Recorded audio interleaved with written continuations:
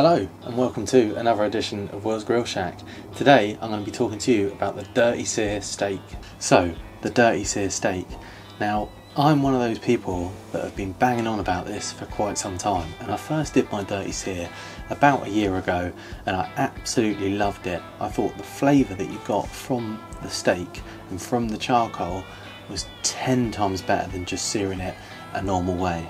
Now you may not have ever heard of a dirty sear and what I mean by a dirty sear is where you literally just throw the steak straight onto a bed of hot coals and you get an amazing crust and colour on the outside of the meat but it's still perfectly cooked on the inside. So today we're going to be doing the reverse dirty sear. So we're going to first of all cook it really slowly about 110 120 degrees until we get an internal temperature of 45 degrees then we're going to pull it off and we're going to crank up that big green egg to about 400 degrees and then we're just going to chuck that steak straight onto the coals. Now this will only work with premium quality lumpwood which is why I use Globaltic charcoal because it is absolutely the best charcoal out there without fail. Now the steak we're cooking today is an absolutely mahoosive tomahawk steak that I've been wanting to cook for quite some time and I'm really excited. So let's head on over to the bench and let's check out that steak and I'm going to show you how I'm going to prepare it.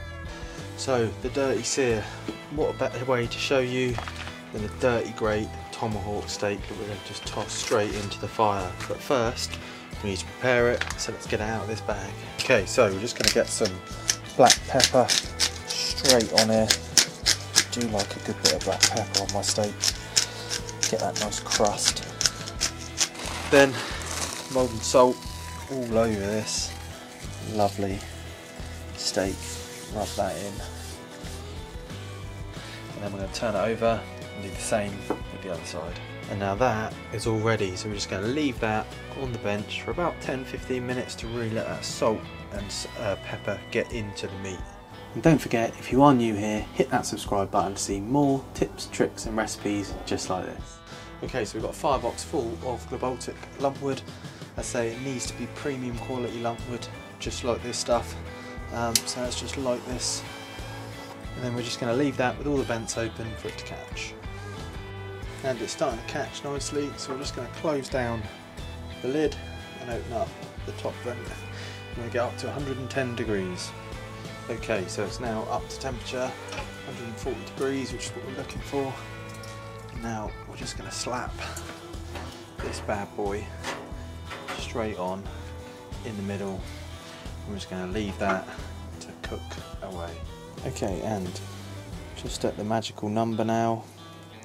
We're at that 45 degrees as you can see there. So now what we're going to do is pull this steak off and crank up the heat. And you can see with the vent it's all the way open, the big green egg is really starting to raise temperature and we're going to come all the way around to about 350 375 before we put the steak on. Okay so we are now where we need to be. We're up at 375 degrees so this is hot. Let's have a quick look at those coals and you can see how hot those coals are. And what we're looking for is that lovely whiteness to those coals and that means that these are ready for us to chuck this lovely tomahawk straight in so the trick here is don't be afraid, just chuck it straight in to the fire and let the fire do all the work. And just listen to that sound, that amazing fire just crackling away. So I'm just going to grab it, give it a little turn over. So got some coals on it, but look at the crust that's forming on the outside of that steak. It's beautiful. I'm just going to reach in and we'll have another little look. Look at that. Beautiful crust on the outside. So we're just going to go in on the other side again.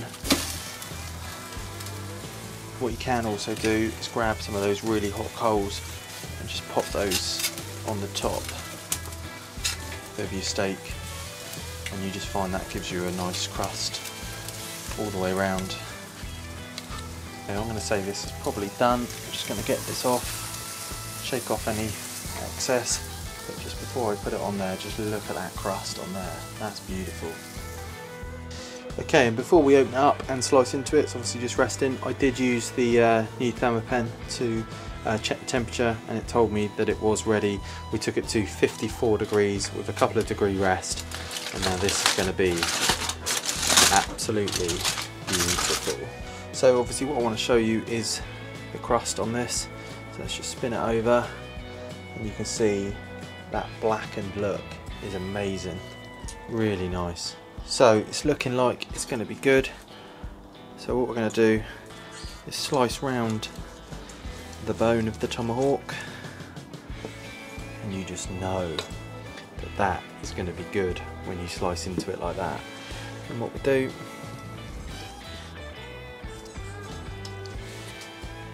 and we'll just take you down for a closer look at that beautiful steak just look at it you've got that blackened crust on the outside now that is a nice steak now that was a beautiful steak. I loved every mouthful of that. It was amazing. And it was cooked to medium rare. I say we saw we pulled it off at about 54 degrees and we just let it rest up to about 56 to 57 degrees, which is the perfect temperature for a steak like that. So hopefully I've showed you that you shouldn't be afraid to throw your steak into the fire and get an amazing crust on it that that steak deserves because honestly this is a game changer, game changer of a way to cook a steak and you need to try it and once you do try it you won't go back. Don't forget though, it can't be briquettes. Briquettes are full of chemicals and they will ruin your steak. The only way to do it is with premium quality lumpwood charcoal. So there you go, another tip from myself. I hope you enjoyed the video. If you did, please hit that subscribe button and join me next time for some more content. Thank you for watching.